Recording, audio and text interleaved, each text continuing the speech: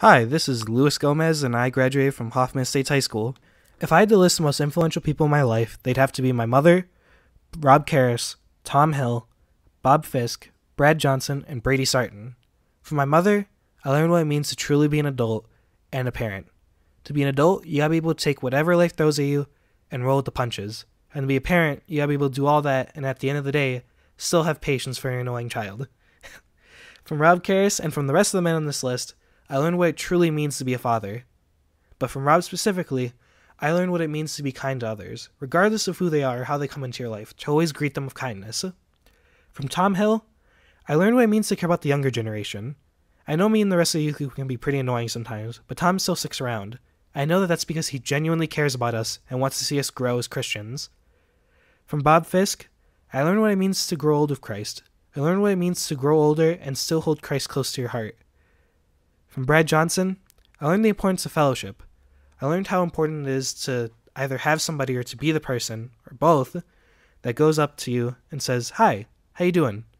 How's your spiritual life going? And Brad, if you're there, I want you to know that I do want to meet up with you on a Saturday. My phone fell in the washer, and that's why I haven't called you. From Brady Sarton, I learned what it means to be an individual. I learned what it means to be your own person, and that's also a form of leadership, and also how to fish. I learned that to be a leader, you don't have to be loud and proud or just everywhere. You can do your own thing as long as you get the job done, and of course, you're nice to others. You can be a leader. From Brady, I learned that because no matter what he's up to, or no matter how much he tells me of what he's up to, I always want to know what it is. I always want to hear more. And that's something that I'd love to be able to emulate later on in life. To all the people that I've listed, thank you. You've taught me a lot and have influenced my life greatly and I hope to still be able to talk to you when I grow older. So, for some words I want to share with the congregation, um, first off, this is to youth group, and yes, I'm about to use my senior Sunday presentation speech to call you guys out.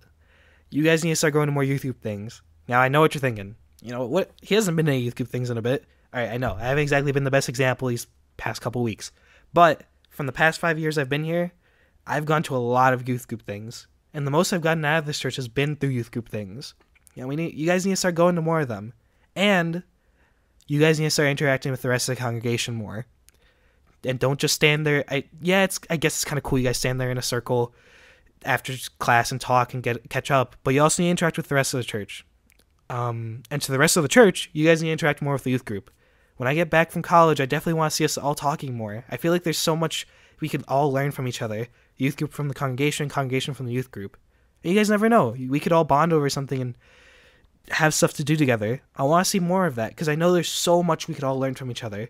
And I feel we could do so much good for everyone. Because, like I said, I've interacted with plenty of people in these church in this church, like I've listed before. I've learned so much from them, and I want that for everyone else here.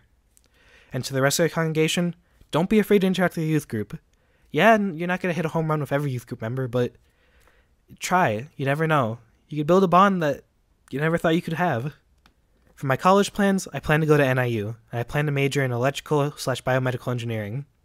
I uh, for my master's, I plan to get in preaching because right now the goal is to become a preacher. With uh, my undergrad is something else, just in case I can't find a job or I want some extra money. If I were to not do that for some reason, I'd get my master's in prosthetics and become a prosthetist. But that's just plan like B. Don't worry.